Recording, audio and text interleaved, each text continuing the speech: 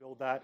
But in terms of production, the watering system you have Yeah. is very unique. I've never seen this anywhere else. So I'd love to hear. It seems like you have a, a semi-automated system, and I'd love to hear more how you created this and and how it works and yeah, and why you chose this this route. So once again, I have to give my credit to to um, in this case, uh, I believe his name is John, uh, up at Dowie Fa- Dowie or Dowie Farm. Sorry, John, if I got that wrong. Up in New Hampshire, uh, who's actually a direct competitor of mine now, and it's always fun to see him in the restaurants or see his product. Um, he was making YouTube videos back in the day, and I saw something similar to this. It's a, a it's a basic ebb and flow system where we have a bottom reservoir, right? Yeah. Um, and it's pumping water into these flood tables. So these flood tables are molded in a way where the water comes in and at level the water will always drain back. This is there's a slight incline to this um, bulkhead at the end here Yeah. right? And so basically, what we do is like up on whatever our interval is, once a day, once every two days. It's not actually that often. We pump the water in, and I can individually control these bays.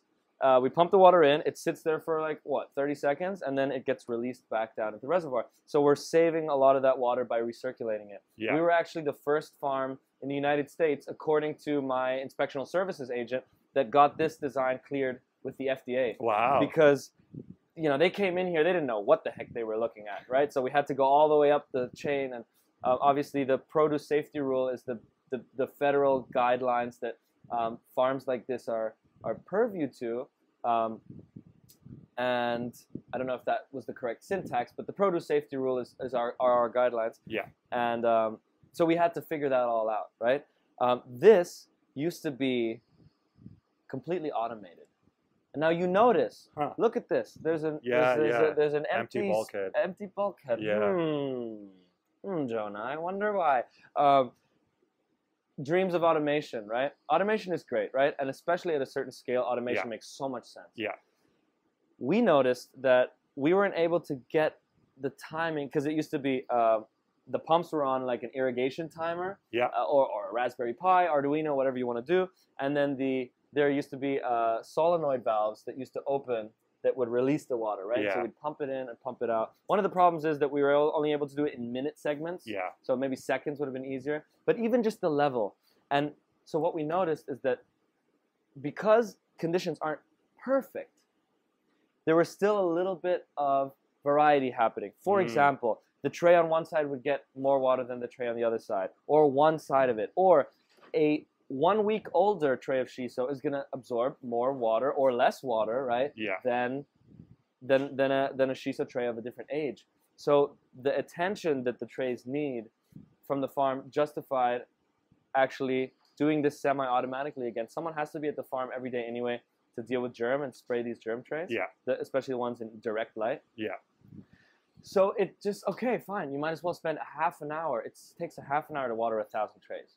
Might as well just give them the attention that they deserve. Yeah. It ends up being a better uh, workflow, or, or rather, we end up having less crop failure, less overwatering, less underwatering. Now, I'm not saying that that is like a rule of thumb. Um, that was just our experience. Yeah. I'm sure that automation can be done in a way where it works perfectly, right? But that was a funny story where I have a massive tote full of $45 solenoid valves that basically just got given away because it made more sense for us not to have them. Yeah, no, there's so many factors that play with things like this. Is like what soil are you're using, what is the you know how how long can it take till the solenoid actually can drain out? Right. Because like at our at at you know Living Earth, we would water for an hour, two hours, and it would sit in water the whole time. But we were using a certified organic soil that didn't absorb water as well. Right. So there's things like that. There's so many factors at play that Yeah. determine what will work.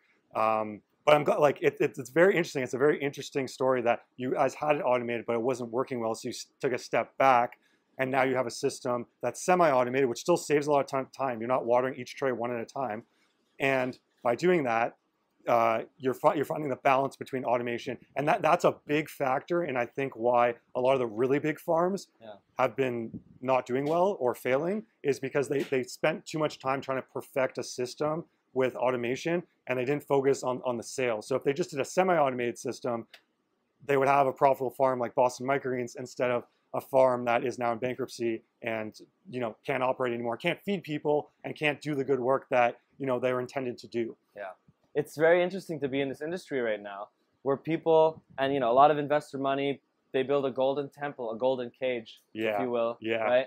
right? Um, you're growing produce, right?